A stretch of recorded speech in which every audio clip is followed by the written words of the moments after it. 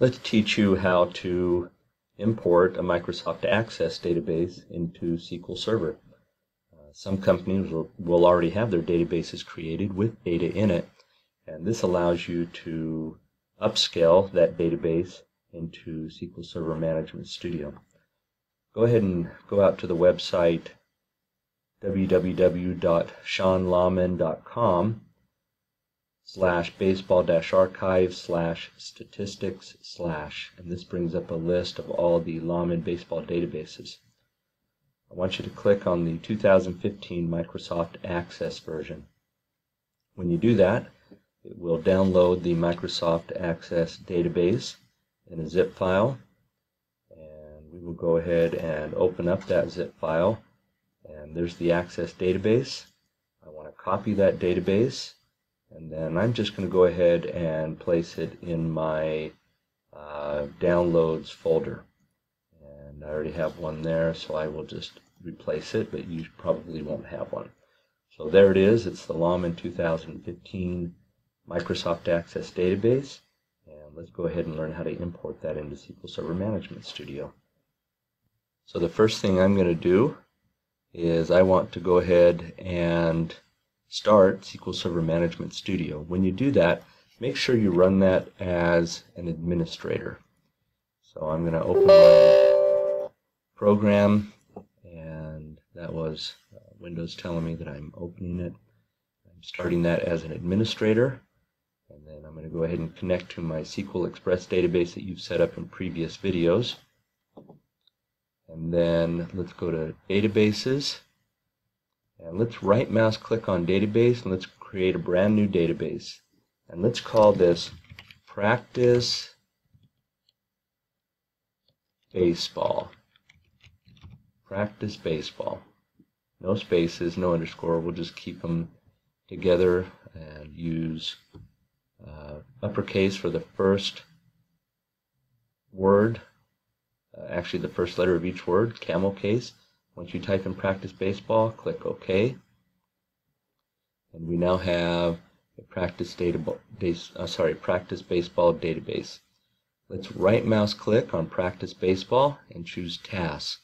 Now this is where uh, using real versions or full versions of SQL Server you can do backups, restores, and a whole bunch of different tasks. What we want to do under task is go down to an area called import data. So under tasks, you look and it says import data. Click on import data.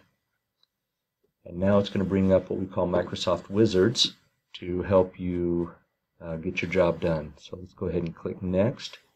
It says, what is your data source? Well, our data source is a Microsoft Access database. So we click on the down arrow and we look through the list. These are all the valid data sources we have. We can bring Oracle databases in, um, different types of anything that we have database, even uh, Excel, we can bring that database or that file in and create database and tables out of it.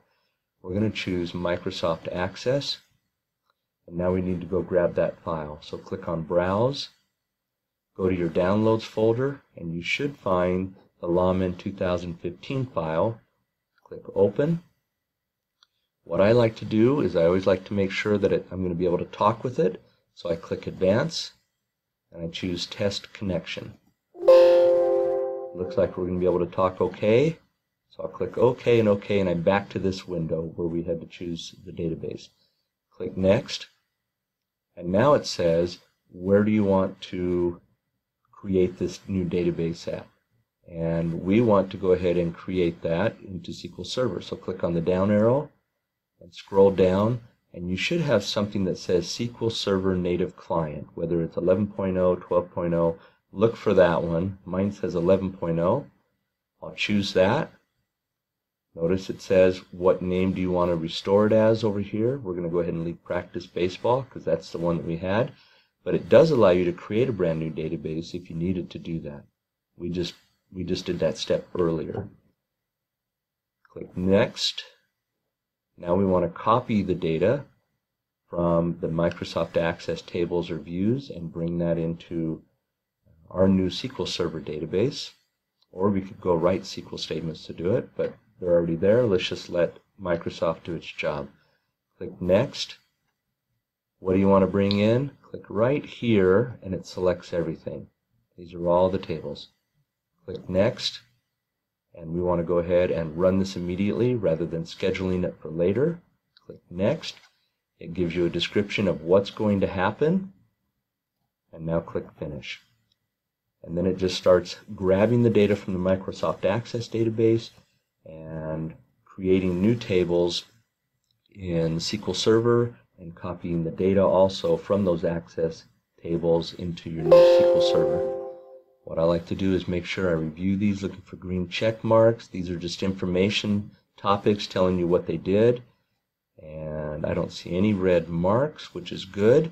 You could even click on reports and view some reports to make sure everything looks good, but we feel confident looking at the green check marks and information. So click close. Let's come back over to here, open up practice uh, baseball, open up your tables, and there's all of our tables. Let's go ahead and right mouse click on master and choose select top 1000. Let's see if we have data there. It shows us that we do have data, so everything looks good. So that's how you take data from other databases already created and import them into SQL Server databases. And it's a nice way to work with data that you already have without having to start all over.